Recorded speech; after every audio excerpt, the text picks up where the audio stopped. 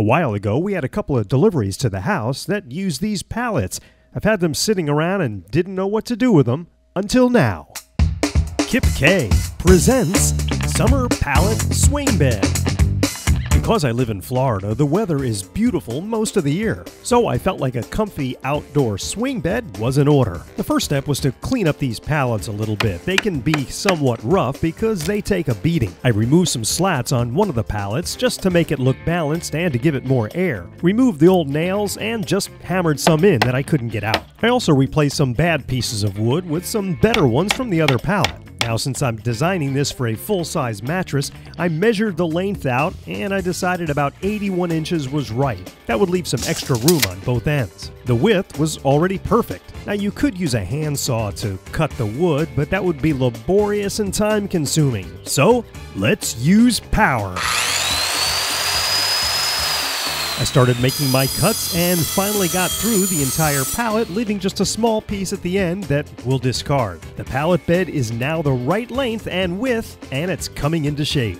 So far, the only thing I've had to buy for this project is three 8 foot 2x4s. I measured and made a mark at 85 inches and then cut all three 2x4s to be 85 inches long.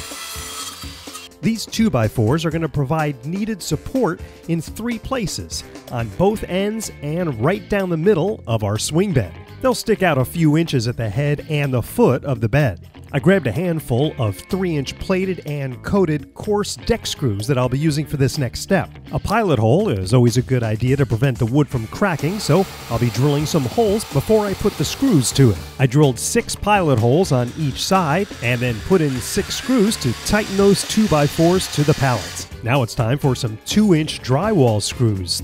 They'll do the trick for this next step. I ran a bunch of these screws through the pallet slats into the 2x4s and made sure everything was secure. Now it's time for a spade bit. This drills a hole and we're going to be using it on the end 2x4s and we'll be drilling holes through those to allow for our rope. And I decided to use a sanding block just to get off any rough edges or splinters. The pallet bed is almost done. Now all we need is some rope. I found a nice shady spot with a strong limb where I wanted to hang my swing bed. I looped my rope through one of the corner 2x4s and then tied a secure knot. Then it's just a matter of looping the rope over the limb and tying another knot on the other 2x4. Then I did the same for the foot of the bed and I made sure it was level and not too high off the ground so I could get on it. My summer pallet swing bed is done, and it's kind of comfortable, but it's missing something. Yes, a mattress. So, of course, it's Casper to the rescue, my favorite mattress. This is the second one I own.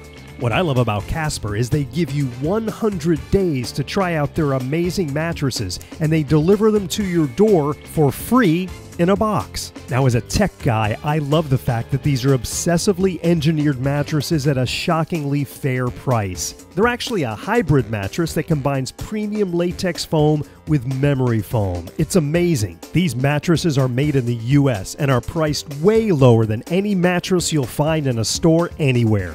So give Casper a try for 100 days. They'll deliver it to you free, and if for some reason you don't like it, they'll come and get it. Plus, you can save 50 bucks right now by going to casper.com slash kipkay and using my promo code KIPKAY. Okay, my mattress fit perfectly on my swing bed. Then I used a couple of zippered vinyl covers to protect this mattress from the elements. I actually put two on just to make sure the mattress doesn't get wet. And there you have it my summer pallet swing bed.